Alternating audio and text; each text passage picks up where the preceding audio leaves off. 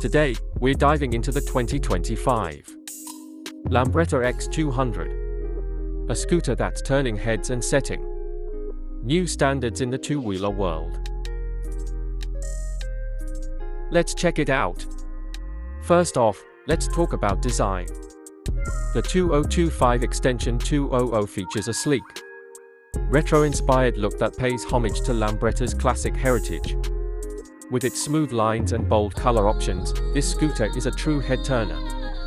Under the hood, the X200 is powered by a robust 200 cubic centimeters engine. It offers a smooth ride with impressive acceleration, making it perfect for city commuting or weekend adventures. Plus, the fuel efficiency is fantastic, which means fewer stops at the gas station. Now, let's talk tech.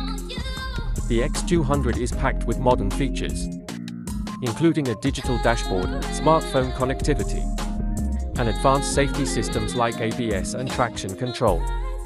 These enhancements not only make riding safer but also more enjoyable. Comfort is key, and the X200 doesn't disappoint. The seat is plush and designed for long rides. While the underseat storage is surprisingly spacious perfect for your daily essentials or a weekend getaway. So, is the 2025 Lambretta X200 worth your attention?